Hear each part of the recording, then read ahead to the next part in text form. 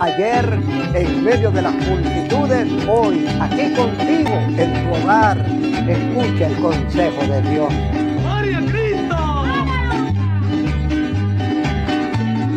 En primera de Juan capítulo 4 versículo 8 nos dice la escritura, el que no ama no ha conocido a Dios. El que conoce a Dios comienza a amar. Si antes era un cascarrabia, un gruñón, un regañón, un enfermo mental, nadie quería estar al lado de él porque era un cascarrabia soberbio. Pero cuando se encontró con Jesucristo, el amor de Dios se derramó en su corazón y ahora ama a todo el mundo. Ama a los pajaritos, ama a los árboles, ama a la gente, ama aún a sus enemigos. El que no ama no ha conocido a Dios